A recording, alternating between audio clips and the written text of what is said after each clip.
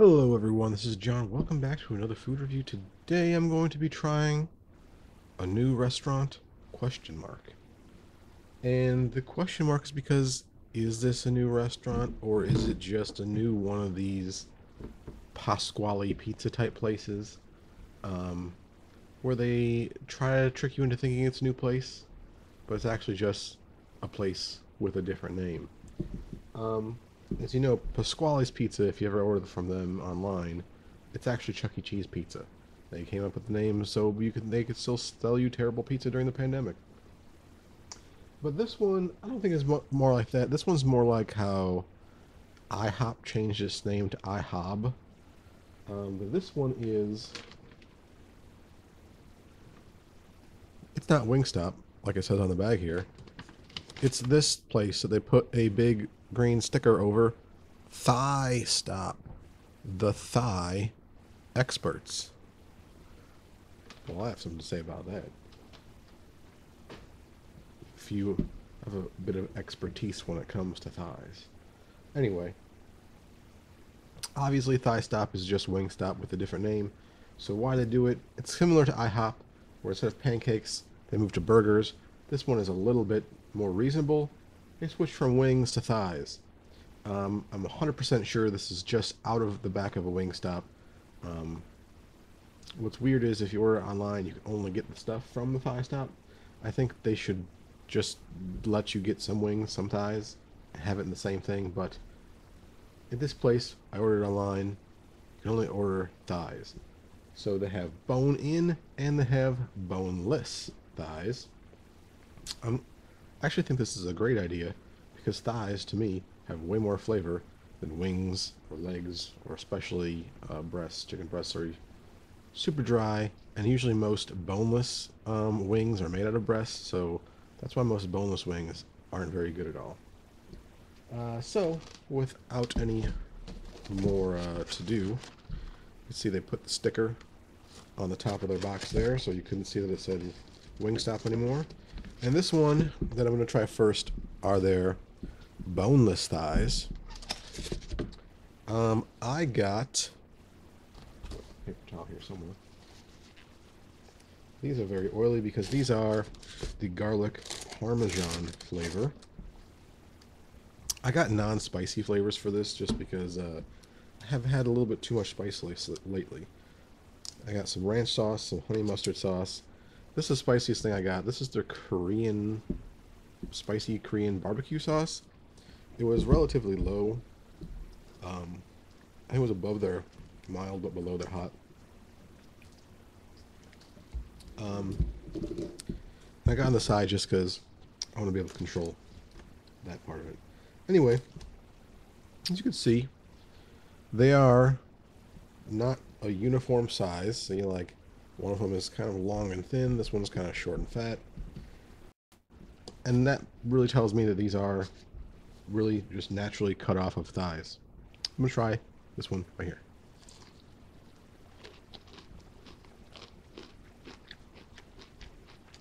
Very crunchy exterior. You see that meat in the middle there?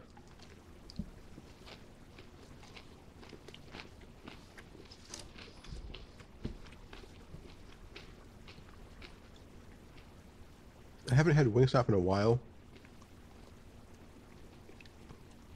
So I'm not really familiar with a lot of their flavors. But their garlic parmesan here is pretty good. And like these little crunchy little nuggets of thigh meat. That's a good combination. I'm try a little bit of this Korean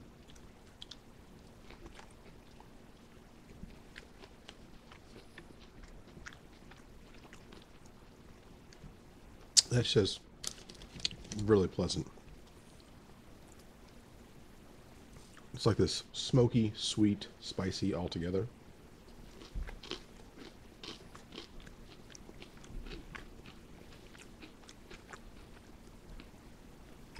It has a more uh, peppery flavor than peppery spice. You almost it almost tricks you into preparing for it to be spicier than it actually is. This is good.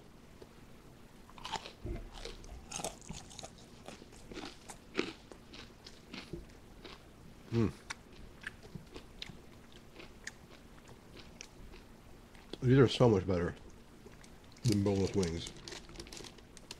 The meat is juicier, more flavorful. The sauces really mix well with it. They've done a good job of breading these. Very crunchy.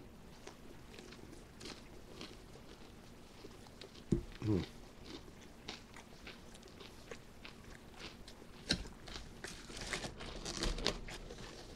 Well, you can't tell.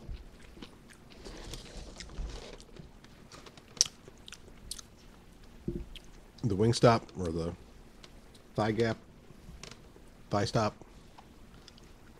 They're boneless wing, they're boneless thighs. Very good. Tasty, crunchy, delicious. Before we move on to the bone-in thighs, they both came with sides, so I'm going to taste them. This is their Cajun spice French fry. Or no, just fries. They have a fry seasoning.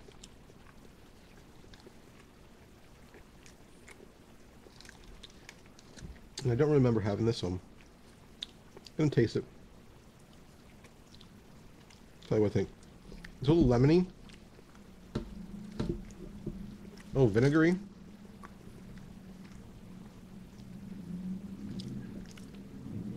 A little salty, a little peppery. Put some of that sauce.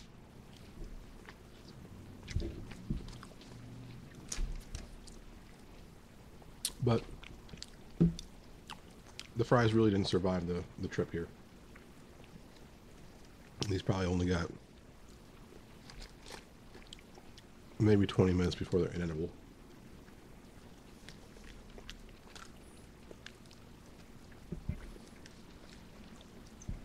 I do like their fry seasoning. I think they can do it more vinegary. Give that whatever the sourness to this is, they can elevate that more. That's good. And then, excuse me, the other side, they only offer two different sides, is corn. They call it fried corn. And like there's these little corn on the cobs. I was wondering if they meant like it was deep fried, and it kind of does look like it was deep fried. Might be a little runny on here. But these come in a Cajun flavor, but you can change the flavor. Uh, you can get it with the fry seasoning, you can get it with lemon pepper seasoning, or what I did is I got with the Parmesan. Again, just trying to limit my spice intake. Here's one of them. You can see it's brown, like it was fried. It has Parmesan cheese on it. What more could you ask for? Let's try it out.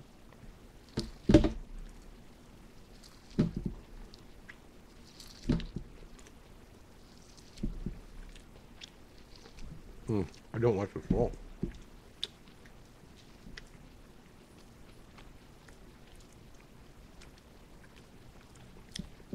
The flavor is okay. You do get like a that browned, fried up flavor. But like the actual corn, the meaty in innards of the corn. I don't know if you can tell. There's no, there's no crunch from this from the frying.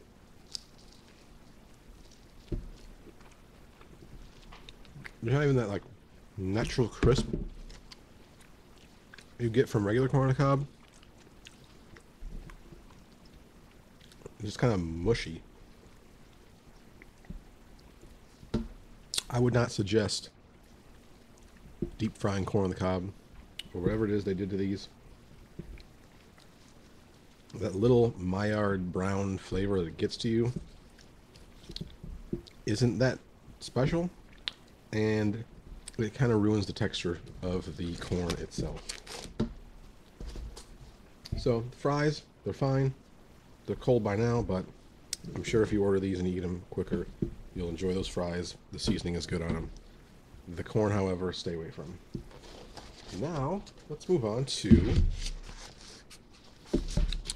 the bone-in thighs. Here's what they look like. For these ones, I got lemon pepper. Make sure I'm not dripping liquid all over here. Oh, there was some condensation up here that dripped onto my table. Um, I got lemon pepper. This comes with three pieces. These two are kind of on the small side, but this one is way bigger in comparison. It does look like there's a good uh, fried exterior on the skin there, revealing some like really juicy dark meat underneath it. Let's go ahead and give it a taste. Mm.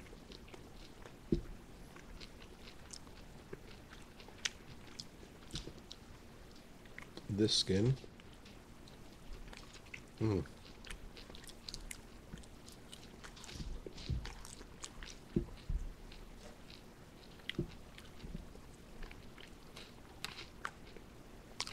There's not much more things more delicious than a fried chicken skin. Especially in the thigh because it's got all the, the juicy flavor underneath it. Mmm.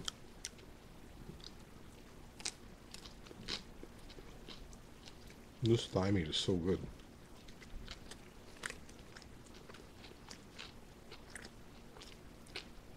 It's literally dripping with juice.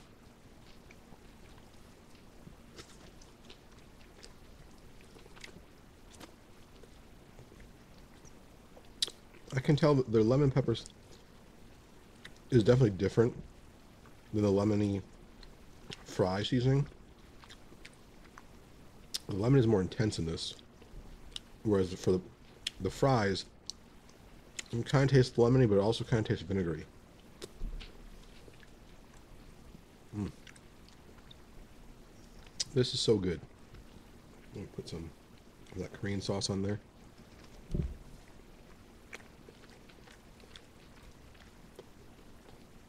This is just good stuff. Why haven't places done this before? For like the price of the thigh combo here, it seemed very similar to what I would pay for for like a wing combo. You get all the same sauce options that Wingstop has.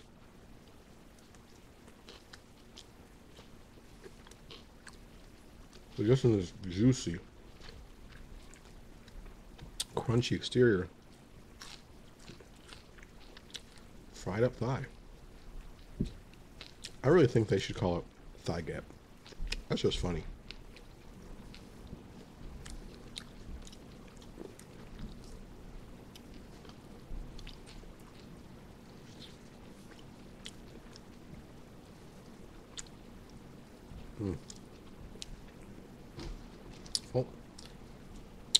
That thigh left with these two bones.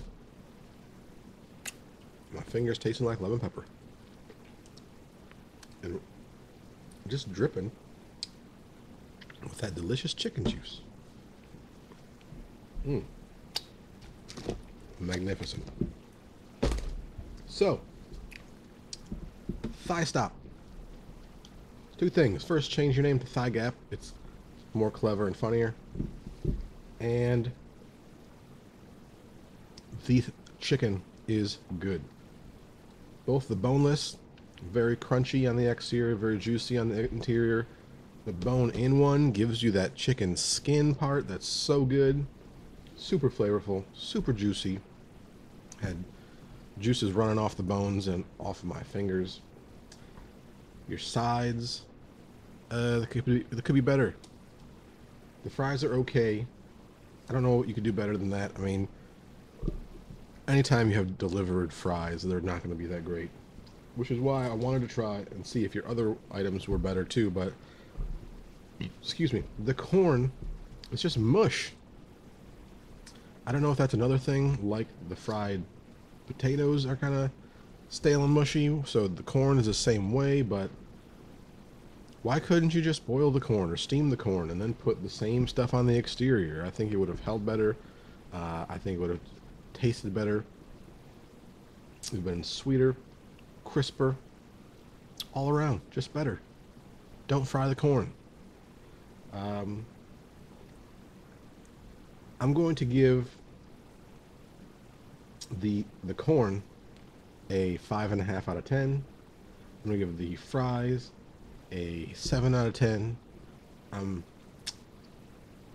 I'm trying to think which one I like better between the boneless and the bone-in.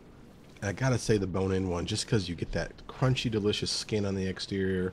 I'm going to give the bone-in thighs from Thigh Stop a 8.9 out of 10, and I'm going to give the boneless thighs an 8.7 out of 10. Really, the, the big difference is getting that skin. Crunchy chicken skin is delicious, and you get that with the bone in. You don't get it with the boneless. But the breading on the boneless is still very good and very tasty, very crunchy. And I think if you don't like bones, then you could probably um, get the boneless one and not really worry about the not having the chicken skin uh, too much. You'll still be very satisfied. Anyway, that's it for this. Thigh gap, boneless and bone-in thighs. Hope you enjoyed it. Give it a thumbs up. Subscribe to the channel. And I'll see you guys on the next video, whenever that'll be. Uh, but I'll be here. And you'll watch.